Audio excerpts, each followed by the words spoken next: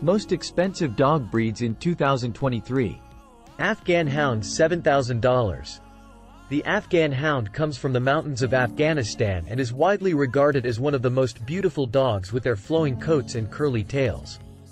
They even require daily hair brushing because their long silky coats become tangled very easily. Pharaoh Hound $7,500, meaning rabbit dog, in Maltese. The Pharaoh Hound is generally used for hunting rabbits in the Maltese Islands.